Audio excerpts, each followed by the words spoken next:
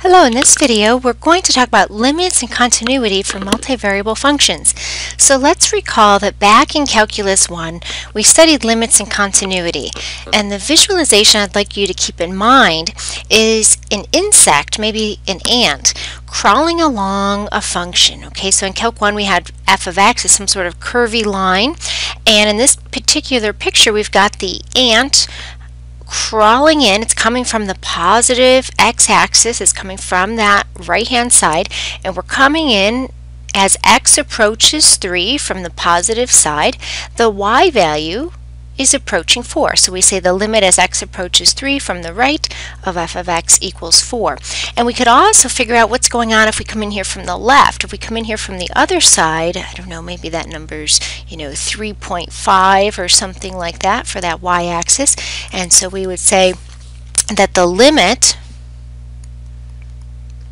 as x approaches 3 coming from the negative side of f of x well, what happens if we're coming in, we have our little insect coming in, and as the x values get closer to 3, the y value looks like it's getting closer to 3.5. Okay, so this, this is a good case where we've got the left-hand limit and the right-hand limit are two different values. The two-sided limit does not exist. So to review, let's say recall that the limit as x goes to a of f of x, that is that exists, that two-sided limit exists if and only if the left-hand limit and the right-hand limit are the same.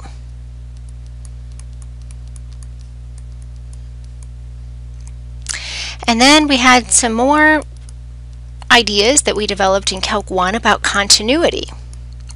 Okay, and so we said basically a line is continuous or a, a function f is continuous at some point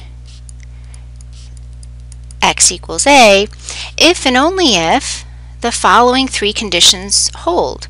Well, first of all, the left-hand limit and the right-hand limit, the left-hand limit and the right-hand limit both exist and are equal to each other. Second of all, the function is defined. And third of all, not only is the function defined and the two-sided limit exists, but the value of the function must equal the limit as x approaches a.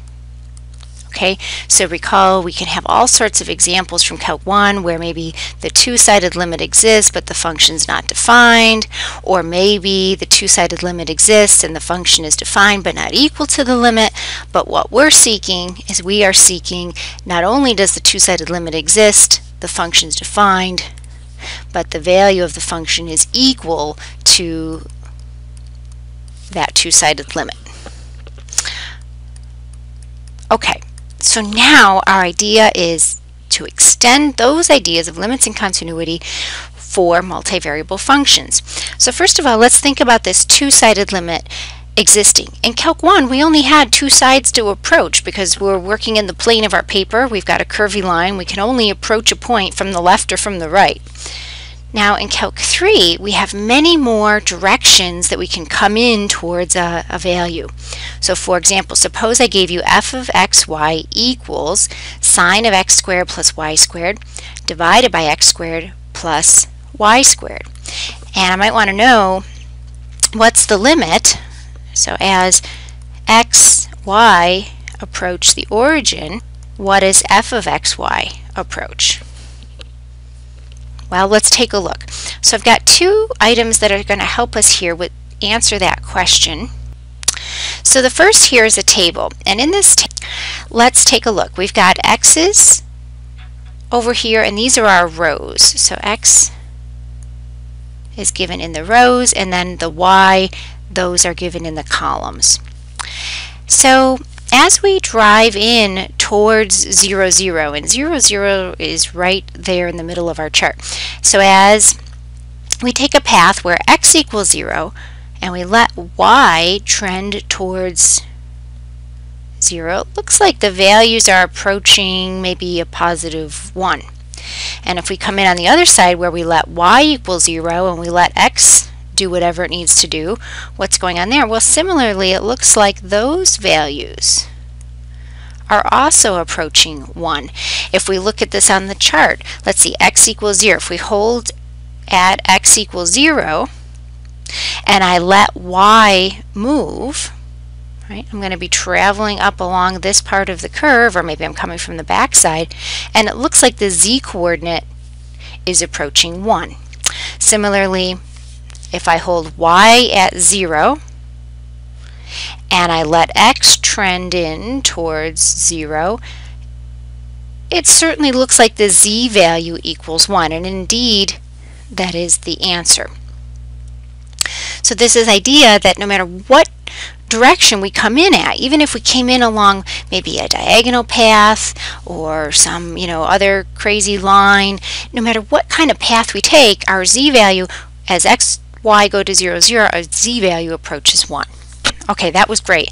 Now let's look at a different example. Suppose I gave you g of x, y equals x squared minus y squared over x squared plus y squared. All right, let's look at a table and a visualization. So what's going on here? Let's hold x equal to 0.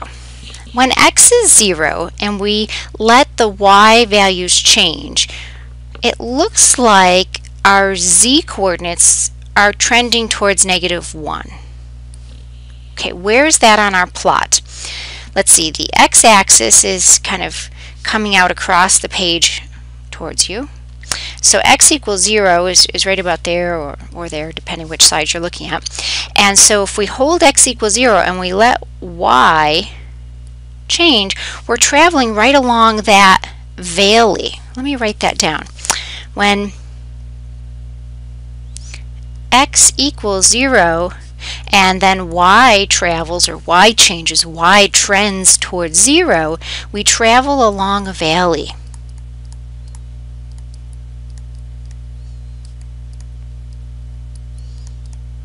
and you can see that value valley valley right there and the z coordinate looks like it's about negative 1 now what happens if we come in another direction? If we approach the origin, maybe letting y equal 0, and we trend in that way, looks like the z-coordinates are close to 1. On our picture, let's see, y equals 0. So if we're going to come in along that path, we're coming in along this ridge. And you can see the z-coordinates up there are equal to 1. So let's write that down. When y is fixed at 0, and then we let x trend towards 0, we travel a ridge and our z values look like they're close to 1. In other words, we're getting different values depending on the path that we come in on. And since we're getting different values, this limit does not exist. So when it does not exist, we will write D, N, E. In the next video, I'll show you how to do this algebraically.